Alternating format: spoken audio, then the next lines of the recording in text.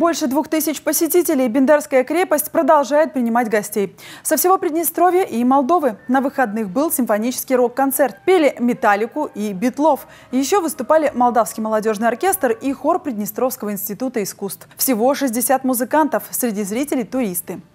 У нас целый день э, группа из Китая, которые задержались здесь, э, оставались ночевкой.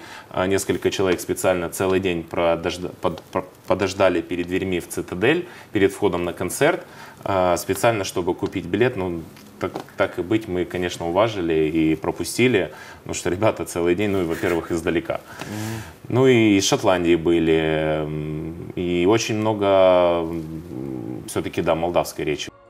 В Бендерской крепости в фестивале почти каждые выходные. 16 и 17 июня праздник для выпускников «Синяя птица». Скоро в «Цитадели» выступит симфонический оркестр. А еще будет спектакль от театра Аронецкой «Страна слепых». В июле запустят кинотеатр под открытым небом. Подробности на сайте Билет ПМР или в инстаграме крепости.